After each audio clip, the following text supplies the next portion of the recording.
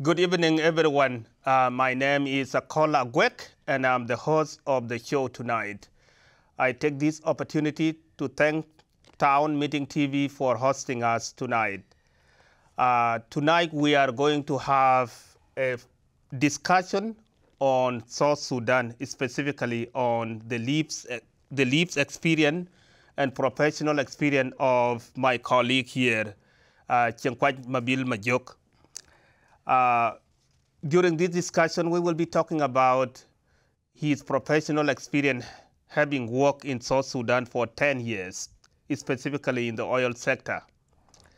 Uh, if my experience, my own educational experience is to be a guide, we look specifically at the geo geopolitics of energy and political economy of oil and mineral resources.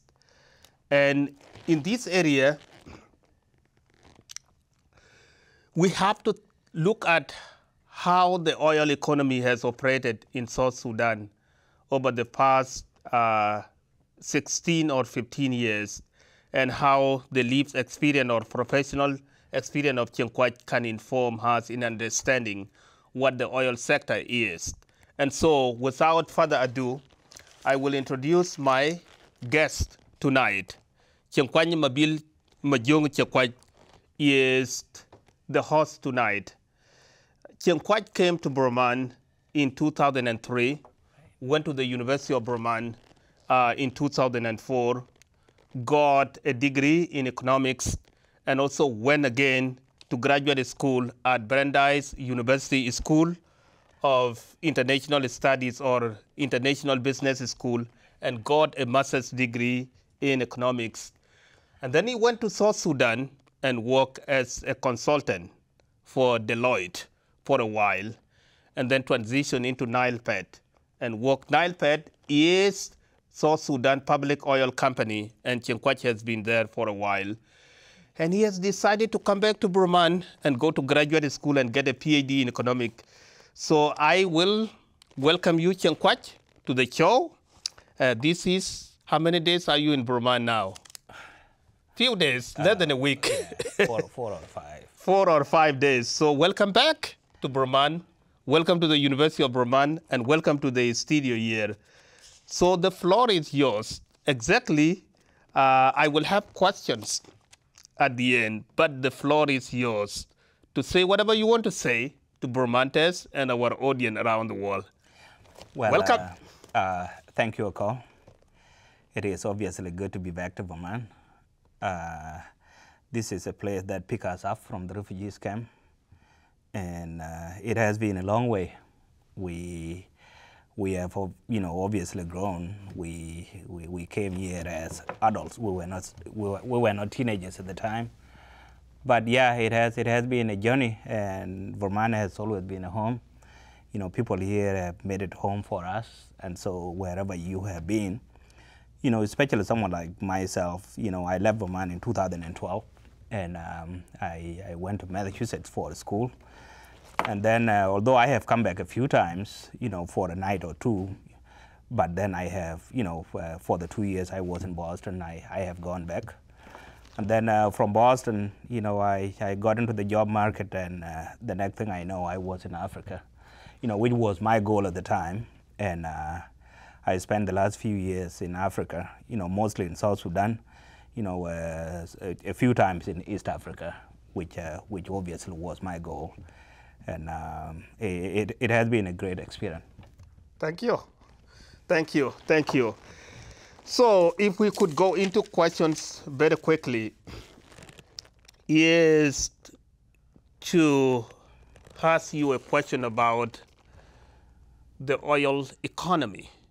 Generally, you will be specific about South, Sudan, but generally speaking, right. having worked for an oil company, how does the oil sector operate generally from when the oil is taken from the ground to the market to when actually the money is received? Uh, thank you, Akol. Uh, that is a very good question. Uh, oil sector, you know, obviously is very general, you know, because uh, there is the heavy oil, and then there is the gas part of it. And uh, for the area that I have worked in, you know, obviously was a natural, you know, national petroleum company. And uh, there are three parts to it. Uh, uh, oil sector, you know, obviously involved three areas, which is uh, the downstream and midstream, and then uh, the the upstream. Now, if you break it down, downstream, you know, mostly deal with the supply of the final products to the market, and that is like, uh, you know, like, uh, you know, kind of bringing the final product to the gas stations like what we have here. That is mostly, you know, downstream is on distribution. Upstream, for the most part, you know, deal with uh, with the sales, Okay. uh, sales of the oil, and uh, it is uh, given the complications of uh, the the, the global global energy. it is it is one of those areas that is very political in nature, and, and then of course there is midstream. All right, midstream, you know, is where I where, where I came from and where I have spent you know uh, a, a good number of my years. Uh, midstream mostly has experts that are helping, you know, making sure that the upstream and the downstream, you know, function. And so in my case, I was, uh, you know, involved pretty much in finance and, and internal audit, you know, and that is making sure, you know, that the system is working, you know, that the kind of software that you will need are in place, you know. But what I could say is that uh, um, oil, you know, as a component is kind of uh, it is uh, it is it is one of those products that can be good and can be bad, especially if not managed very well. And I don't think, you know, we we have done a very good job managing our oil resources. Thank you. So, so in that regard, oil has these three sectors, and you are in the midstream. Right. What I'm trying to, you know, I'm, I'm, I have not been inside this area to be able, or any other uh, uh, uh, audience watching us tonight, is to say, uh, when people say, for example, when people are talking about, you know, pipeline, Right. for example, and there was the a row between Sudan and South Sudan, and you know, and the contract or the agreement that was signed, and so forth. The owner of the pipeline, the owner of the oil. How does that operate in terms who who, who gain, who wins, who had the power over whom? Right. Yeah. Thank you, Akol. You know, uh, when we went to school for economic, you know, there was always this common say, you know, that in a free market, you know, all players benefit, right? yes. Uh, that is kind of true on the surface, but then deeply, especially when you go to the details of what goes i- into all that effort, in a way, someone has to benefit more than the other person.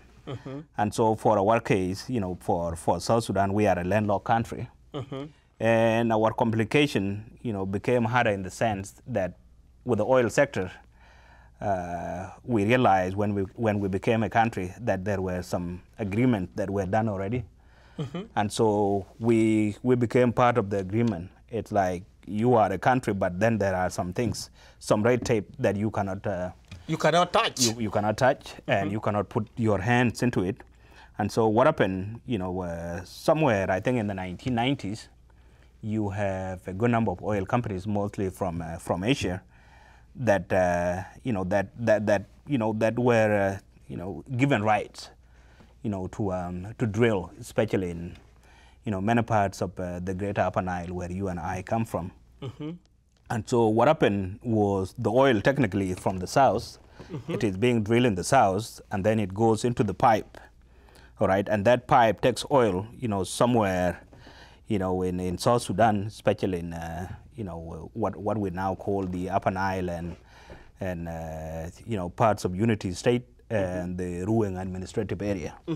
And so that oil goes into the pipe, and it goes all the way, you know, uh, to to Khartoum, and then uh, from Khartoum now it that, it has to go to port, all right, where you know the, the port is kind of where all these international, w- you know, uh, how do you call them?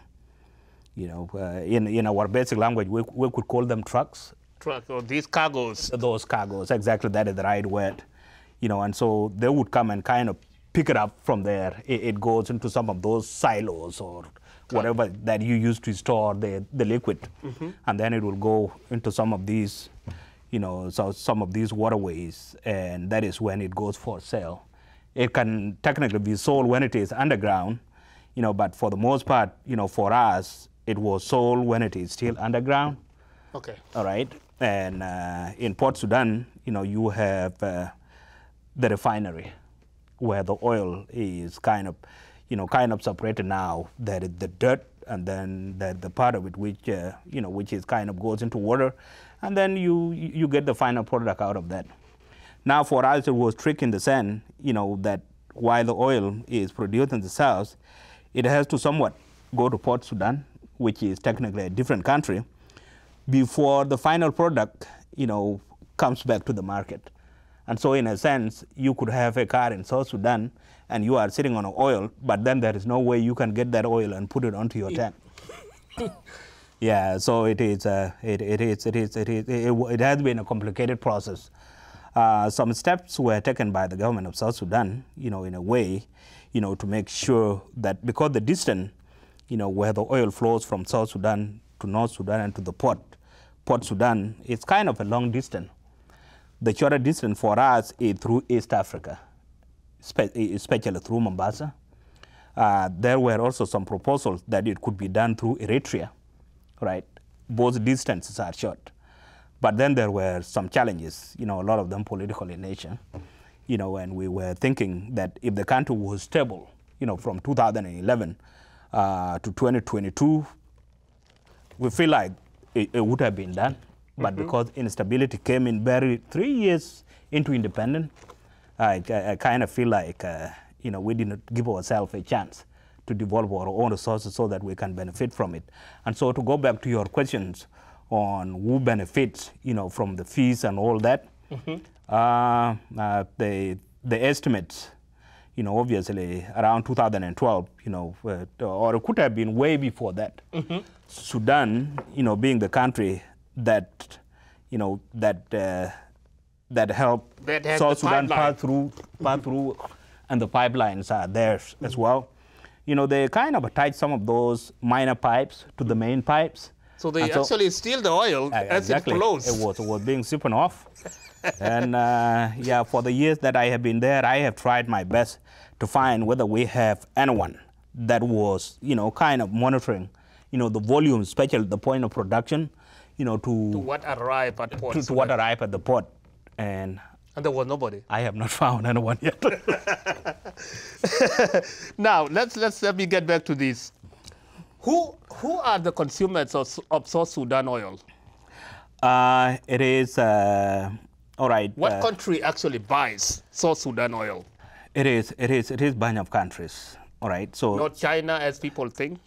Obviously it is China. They they are the main beneficiaries, you know, in the sense that they have uh, what they call, you know, the the China. Like if you look at the kind of uh, the the operating companies, we have three main you know, Companies. main operating companies, and uh, out of the three, China and Malaysia are either the first or the second shareholders. You know, I don't have the percentages in mind, but for the most part, you could you could call them the main beneficiaries. And of course, uh, the oil, you know, our oil for the most part sells to Middle East and some few countries in Asia, uh, few in Eastern Europe. And nothing here in the U.S. Uh, no, I, I, I, I don't. I, I- I don't have any data of anything that has ever come to America. No, none. That, that I could say with confidence. Okay. Okay. Yeah. Now, so let's let's let's the, let, let let us pursue this. Of these three, there is downstream, midstream, and upstream. Right. You were in midstream. How close are you to oil money? Uh, it's uh, it's I would uh, I, I- I would say, you know, what I was dealing with, especially as the internal auditor. You don't see the money, you don't touch it. No. no, I, I, I, I, I, I, never came into the point of knowing, you know, as I said before, I really didn't, I, I, I have never found anyone that was, you know, that was present at the point of production and knows exactly the daily, vo- you know, volume and can say what we have produced today is this much. All right, I, I, I did not find that person. I did not find anyone that was at the point of sales, all right, where the final products was going onto some of these And chips. you are the auditor. That is correct. All right. So, you know, sometimes that is the issue with working with the government because you, you realize there are a lot of red tapes. Mm-hmm. And so if you try to get into it too much, you might find Get yourself in trouble. In trouble.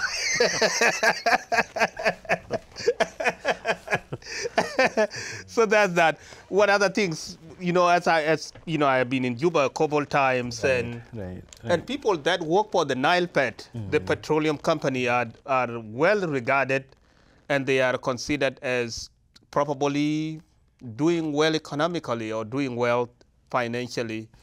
Uh, so when you left that company and returned to school, somebody has to wonder if if you have given up a very lucrative job for education. Uh, you know, obviously, what happened, uh, there is a lot of myth about, uh, about Nile Pet, obviously. You know, and there is some truth to that. The company was founded around 2005, all right? And the goal was to have a national company that with time can, you know, can, can become a, uh, an operating company. But then the issue all along has been, you know, uh, that of, uh, uh, it became in a sense political, all right, uh, because, you know, for you to kind of have, you know, to have something, a company that that kind of grows from nothing to a national company, that becomes an operator and can explore and can be given concessions by the government, you you need a steady leadership, leadership, right? And the CEOs, you know, it it was some thought of, uh, you know, how do you call it? A, a slinging door, a door that opens and and closes. Revolving door. A revolving door. You know, and so with the CEOs and the, and with the senior leaderships, kind of in and in in in, in, in and out, uh, you could see, you know, from the management point of view, that uh, this, in a sense, create instability. All right, because if you know, if you, if you don't have any contra- contracts that will say, all right, we have given you this chance, five years, for example. you will be here for four, five years, ten years, you know, and the next thing you know is you kind of walk your ways around, you know, to, to become the CEO. And the same way you walk around or becoming the CEO, you can actually get out the same way, Mm-hmm. you know. And so it, it, it, it, it kind of, you know, those who were, you know, lucky enough to be the managing directors mm-hmm. came in through politics, mm-hmm. they got out through politics. so they are political appointees. That is correct. It is like you get in today and you are worried. You get another group that is trying to get you out tomorrow. wow. And so, in a sense, you know, uh, you, you, you, you find managers who were very uncertain. And instead of doing their work, they were worried about, you know, the politics of it. You know, trying to make sure, you know, there are loopholes, and if someone is talking bad about me, you know, I should go out there and find a way of making sure that they talk about me you know. And so how, how do you make sure that someone doesn't talk about you? You know obviously you cannot kill people. And so you you find a way of using resources to kind of bribe people so that they keep quiet. So oh, it was it was it was a trickier you know it has it has been a very tricky you know kind of situation you know and you know obviously you know at this point we have uh, we have Dr. Scholl you know he was uh, he was kind of removed came back and I believe he's he's one qualified guy who has been doing a very good job. And I feel like if he can be, give, be given a contract you know that can make him work for three to seven years I think I think I think he can do better. But he's you know he obviously is a worried man because the politics you know won't let him do exactly what he needs to do especially on a daily basis and so that I see is the impediment. Now coming back to your main que- main question, which was, you know, that people who have worked for NILPET are generally well regarded. You know, uh, in the past, before the, the war of 2013, mm-hmm. uh, at, at NILPET, people were paid decently, especially in dollars, from 2005 to somewhere around 2014. Okay. All right. So uh, a manager, you know, a director like I was, you know, you you you were getting a decent pay, you know, while the public, you know, what what is it? Uh, the, the the you know the government employees were getting paid in uh, South Sudanese pounds. And you were you know, paid dollar. You were paid in dollars. But then if you look at our pay compared to you know the foreigners, they were getting paid at least ten times than us, and so that that that was kind of you know bad because you are doing equal work, you know, pretty much the same you know same expertise, and you could be much qualified you know than a foreigner who is working with you, but then you realize they get paid ten times, and so that was demoralizing. But then uh, 2013 war came in, right? I got into it in uh, got into NILPET in 2016, and uh, when I got in. Um, you know, we, we were getting paid in pounds. And so I, I, kind of kind of went in when the wells were dry. At that time, the, the currency is crashed. So we have Correct. less than 10 minutes left. So mm -hmm. let's let's let's mm -hmm. let's let's specify this. Mm -hmm. Let's get into the economics. You have been there in South Sudan in the oil sector, right. and and, and, and, and you have come back here to the University of Vermont to pursue a PhD in economics. There are, the, the data is there. All the countries that have oil right. have not, mostly have not been successful in using that resource to develop their economies and their countries. That data is there. Unless you are a Saudi Arabia that has a lot of money, mm -hmm. then you can use that money to, to buy social contract to buy support from people. Right. But if you don't have that much and you don't use that oil to develop your economy or your other sectors, uh, you end up in a situation like South Sudan or other places. Right. Data has it that only Botswana and Norway are the only two countries to date that have used their oil revenue to develop their other sectors, right. mostly by creating sovereign wealth fund that they then use to fund into other sectors. Based on your expertise, what do you think, moving, looking, moving forward, what, what are some of your ideas that, that, that you think the policymakers should consider in using the oil revenues to develop the country, you know? What do, you don't have to, to go into detail, but what are what what do you think? What could be done? Uh, because the money will be there, and the oil money will continue to be there. But right. how would it be used? Right. Uh, thank you, Akol. Uh, this, uh, this this is not an easy question. Mm -hmm. I, I don't think I have all the answers for it. I will try, you know, to give you what I know and what I have seen. Mm -hmm.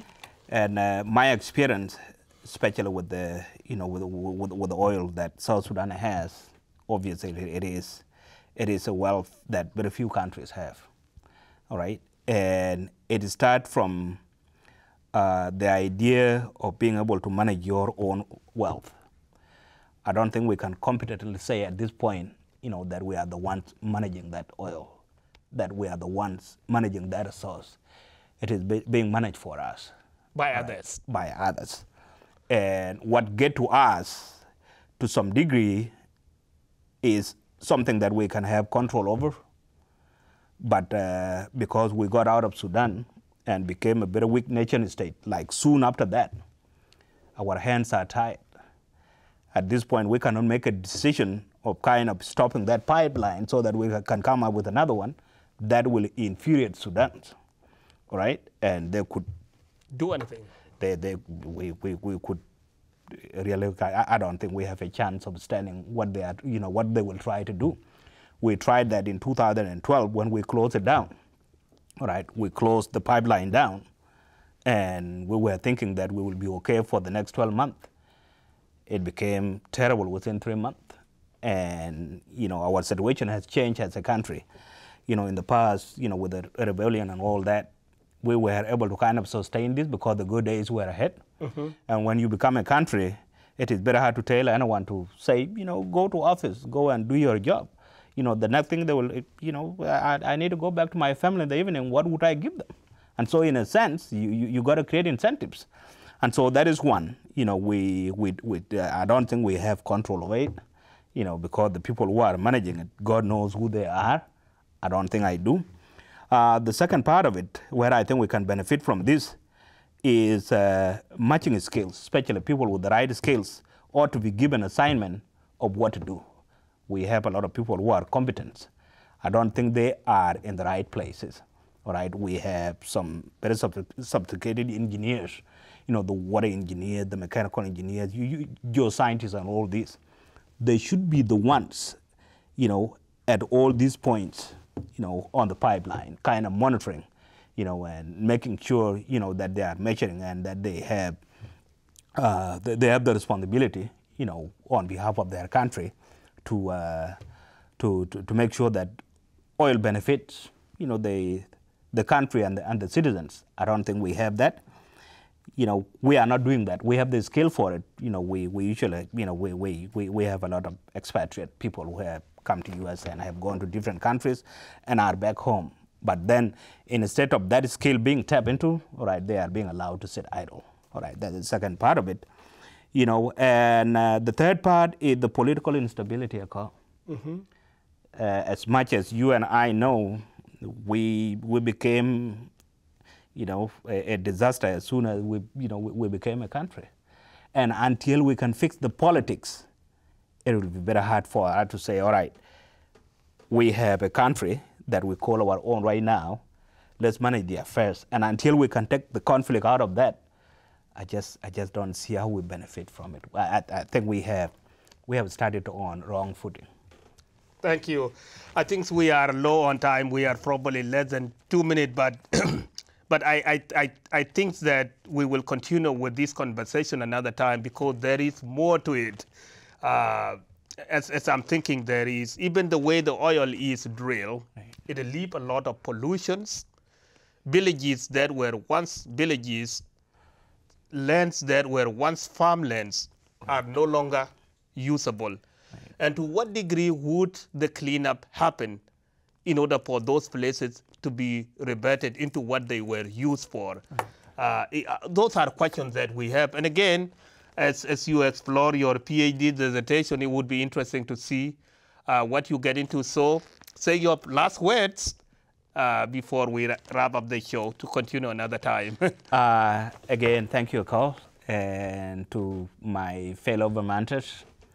Uh, thank you for taking care of us. We came to this state as refugees, and in the process, I feel like we have found our footing.